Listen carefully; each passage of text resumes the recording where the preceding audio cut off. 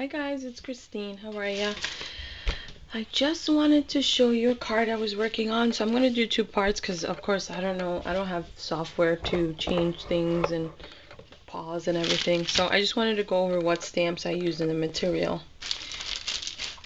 So this is my, nothing's glued down, so this is my card. And so I use the Whimsy stamps, Winter Fairy, and this is a video response for um, Jamie's, um, Jamie Not Too Shabby Shop's uh, ScrappinStamper here on YouTube. She's having a, she's doing a call for um, designers. Um, so to join her team and I think guest designer spaces or whatever. So anyway, I got the stamp set at Jamie's and I love her. She looks so much. Sorry for the glare. Let's see. Let me take it out of the package. I guess it's going to glare. Um, there you go. This is, she looks just like my niece Kiara. And today is Kiara's birthday. How ironic is that? But this is the Winter Fairy by the Whimsy Stamps. And then I used all my colored, my watercolor, uh, actually I use my portfolio color pencils. These are the ones I use. They're not great, but I've used them for a long time with the Gamsol. And I've been using Gamsol for many years now. It's almost done, my bottle. And so, um, I'll move these out of the way. The card base I created on my Cricut. Um, and it is the Elegant Edges cartridge and it doesn't have a card feature but what I did was I cut two pieces of this doily. And then I don't know if this is even working. This is the new angle of the camera. Um, and I cut two pieces and then I glued them right here to the shadow feature. So what I'm going to do is layer it when I glue it down and the card will open up this way. I wanted to do a round card for this. This is a holiday card. so.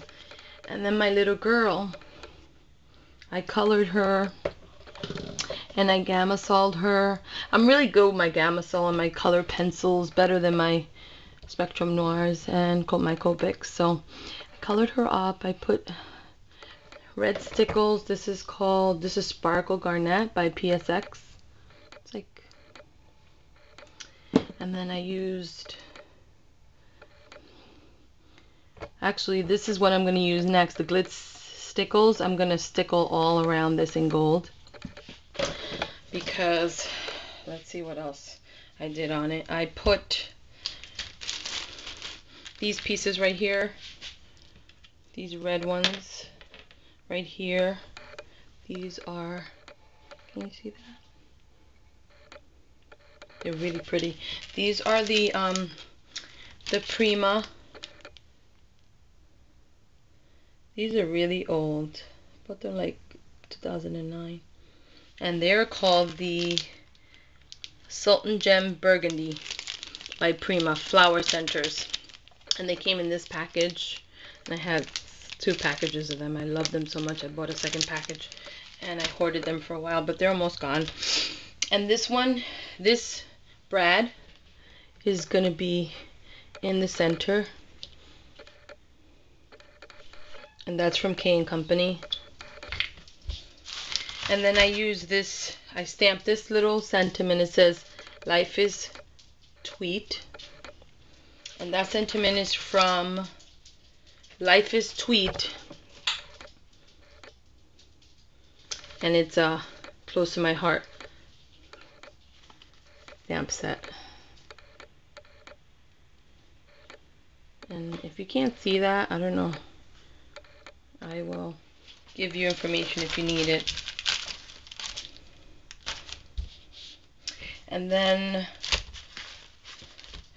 I'm gonna do the inside with the other stamp set from Close to My Heart, which is Stay in Style. Stay in Style, sorry. And then I'm going to use this one for the inside of the sentiment. I'm going to use the joy from the joyous stamp right there. And then what else did I use? I used these Treasure Shabby Chic gems that um, I triple dog dare you um, Lydia sent me. I love them. They're so pretty. They match it so perfectly. And I think that's all. And the K & Company Brad was from the Kiss collection. These are really old and I that's my last one. I love that one. Anyways, um and then I used some trim. This is some trim that Lydia gave me. And this is my um, Webster's Pages trim. It's like a gold metallic, really pretty trim. So I'm going to put those along the bottom edge of the card. And so I'll be back for the second video. And this red ribbon that I'm going to use, it's red and gold. It's just a little, I don't know, I think I bought this at um,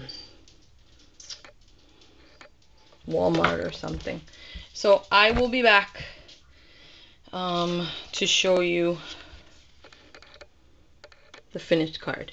Just want to show you her coat. It looks like it's puffy, right? I did some gray um, with the Gamsol to give it kind of like a shadow. There you go. And I love the way it came out. So anyway, yeah, I'm better with my pencils and my Gamsol. I think I'll stick to that for a little bit too. Um, and so I always do vintage, so I'm like a vintage kind of kind of person. So anyway, stay tuned for the second video so you can see my finished card, okay? Thanks for watching. Talk to you soon. Bye.